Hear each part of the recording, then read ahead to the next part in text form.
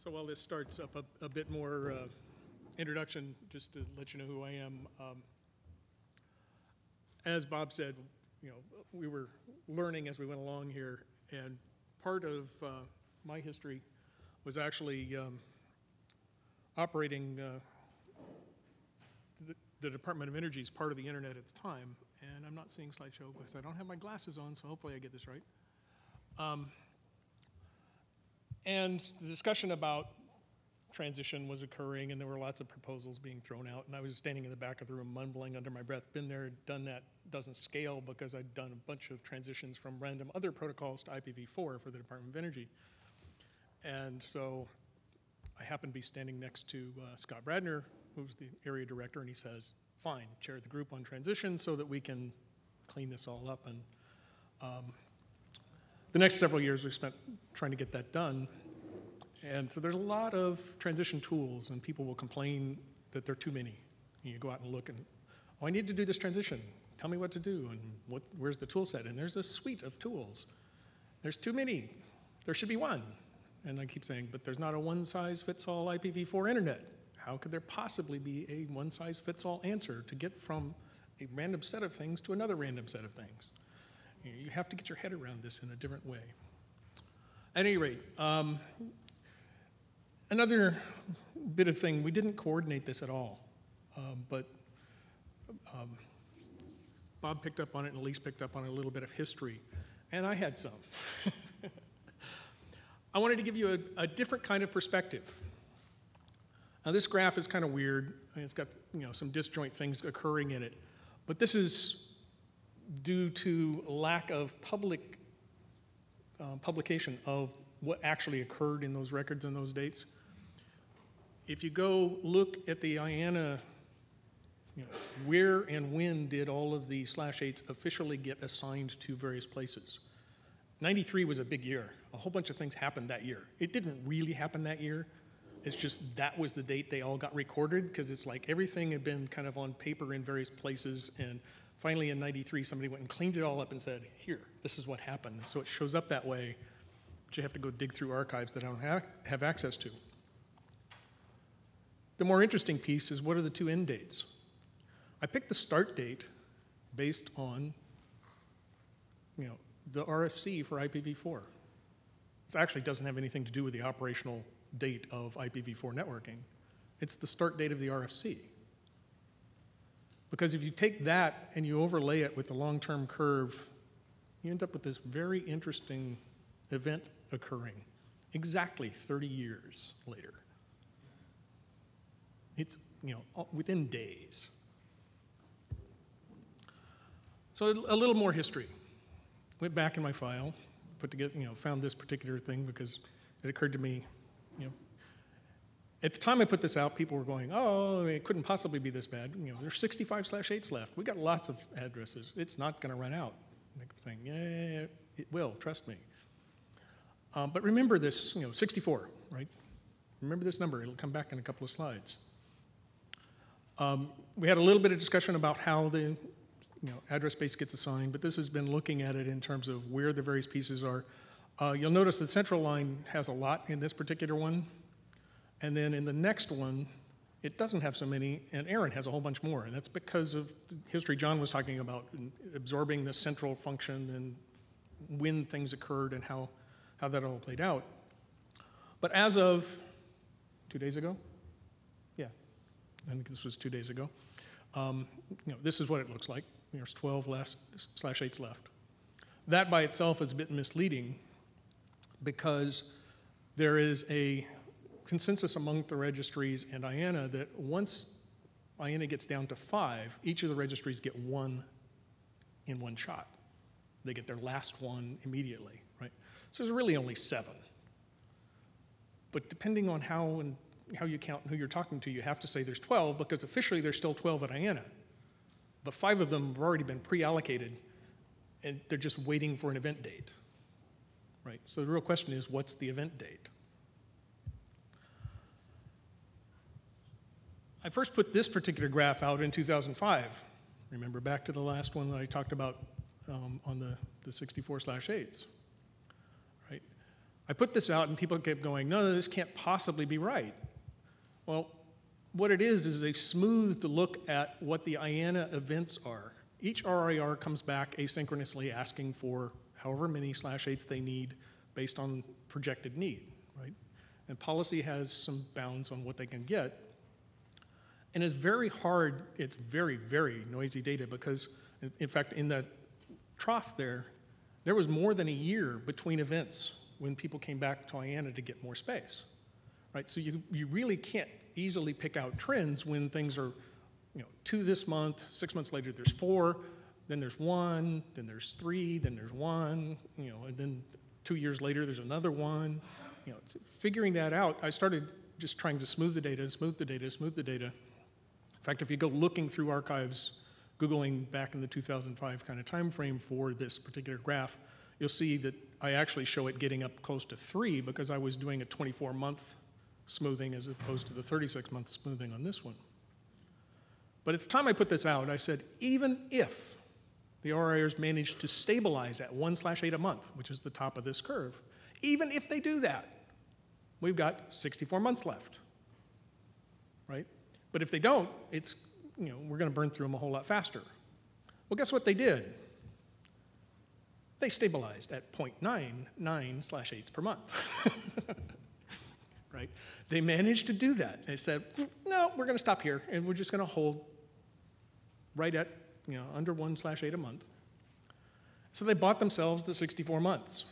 Well, not quite, because like I said, five of them have been pre-allocated, so it's really 59. But it's 59 where you're only doing 0.8 you know, to 0.9 per month.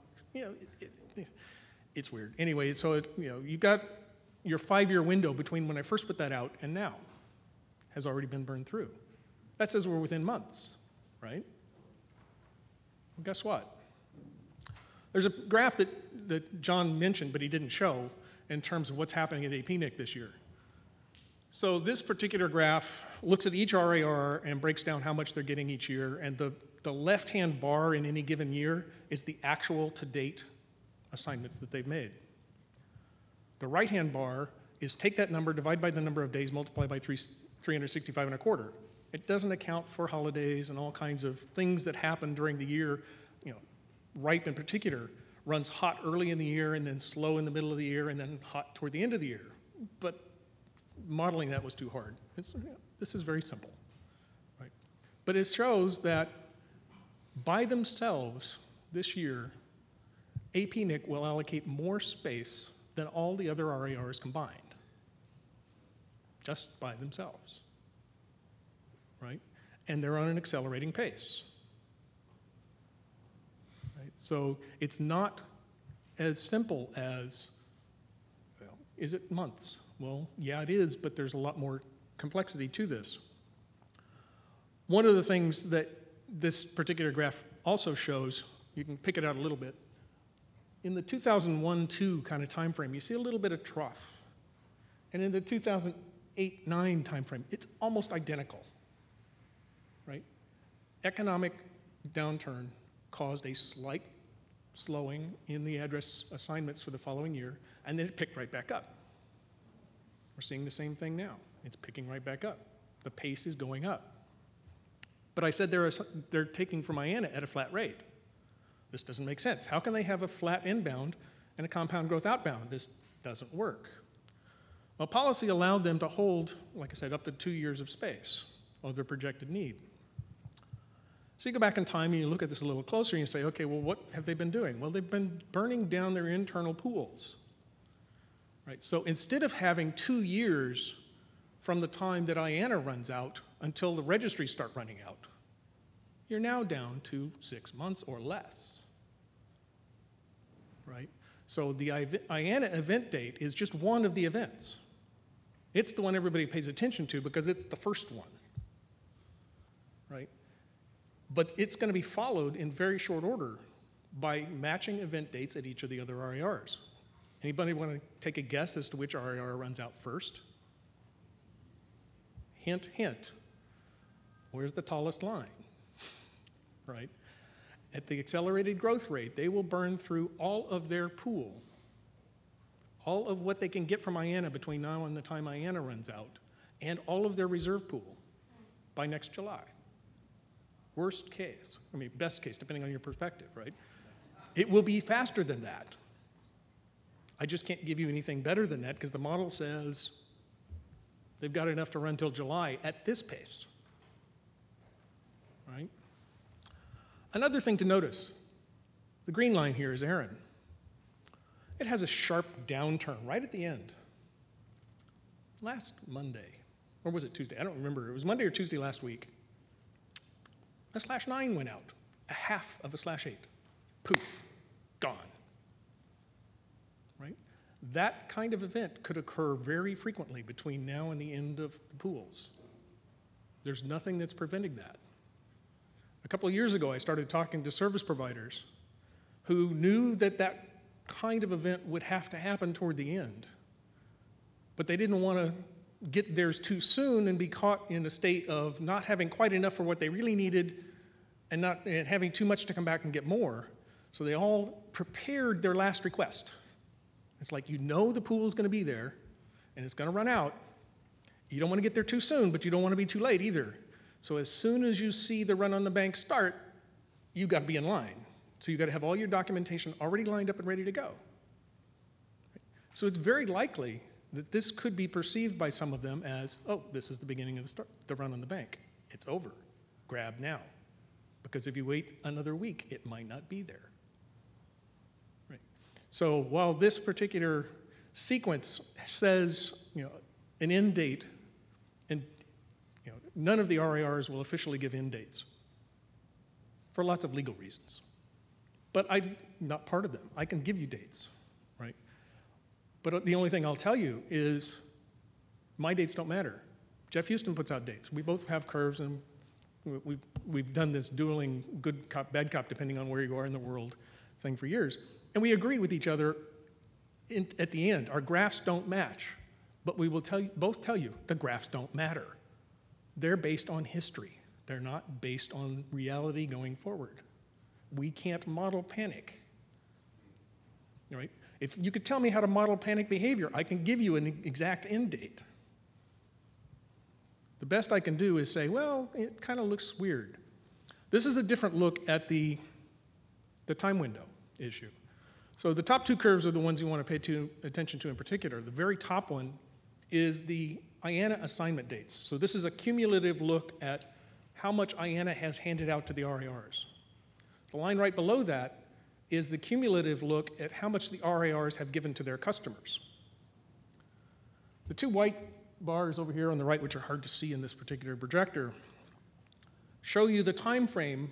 If, you, if you're looking at the cumulative set of when IANA handed out to when the RIRs actually handed it out, right now it's just under a year. So the addresses the RIRs are giving out to their customers right now, they got from IANA just under a year ago.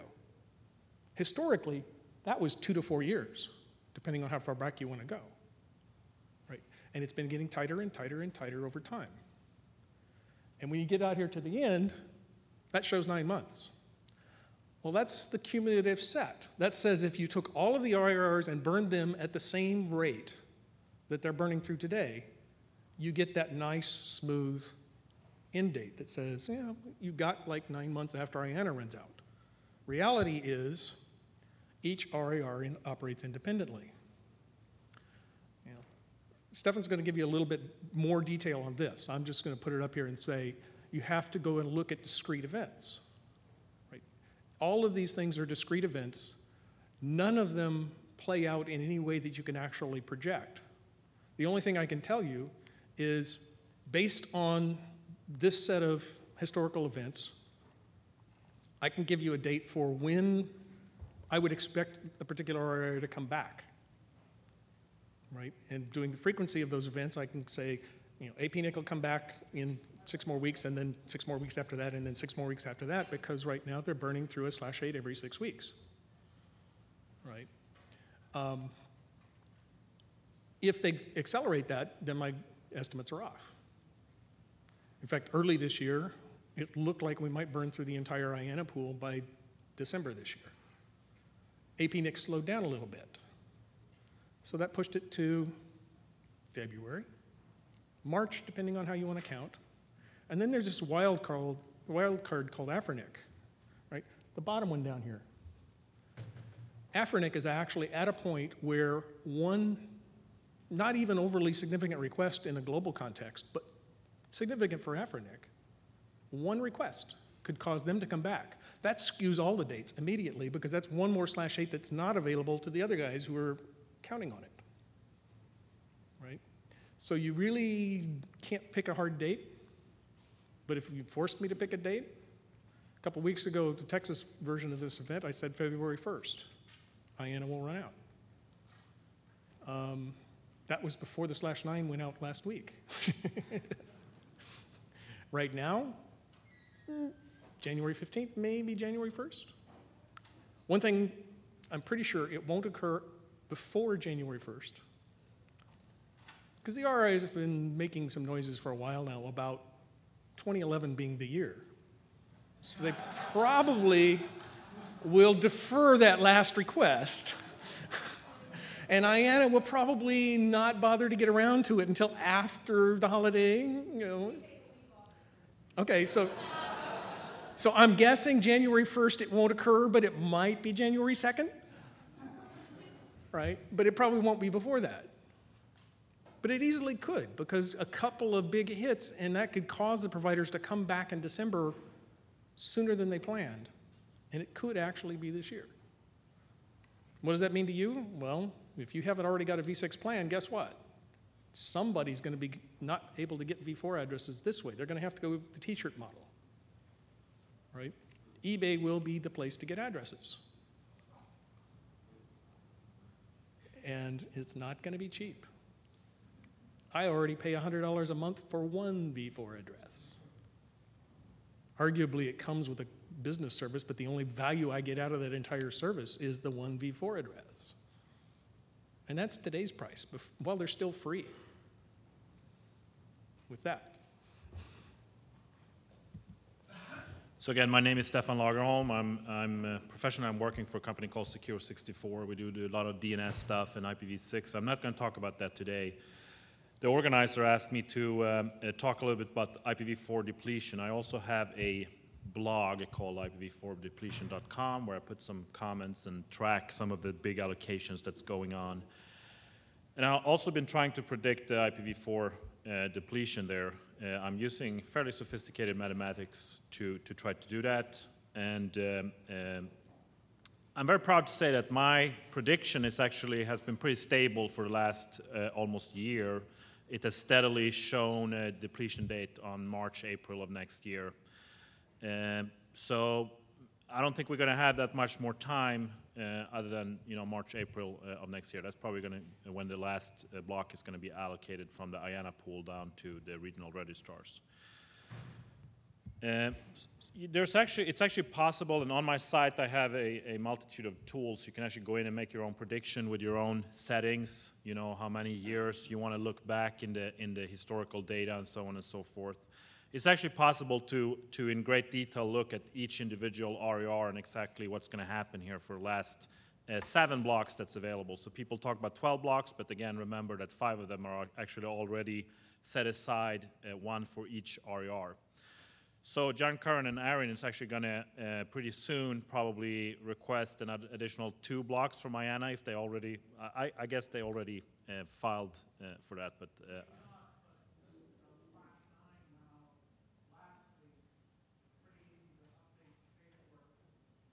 Right. So, uh, so they're running really low, as you can tell here. Uh, the the pool is is um, is less than two blocks uh, in in the ARIN region, and that's going to be the last two blocks that uh, ARIN is going to get uh, most likely.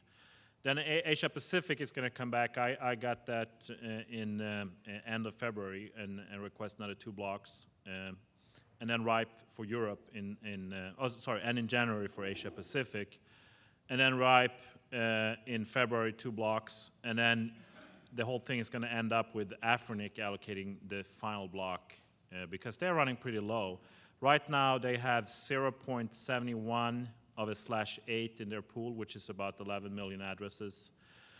And uh, when they can allocate, uh, when they get down to half, they're probably going to request a new uh, allocation from IANA, uh, which is only three and a half million addresses. So if uh, once Afrinic burns three and a half million addresses, which isn't that much, uh, they need to request additional uh, addresses. So even if there would be, so, so, so April uh, 16th, this is from a couple, couple of days ago, it might be different if you go to my uh, tool today, but uh, uh, somewhere mid-April, there's like two stopgaps here. There's Asia Pacific. If Afrinic doesn't pick up that last block, Asia Pacific will pick that block up probably in in May.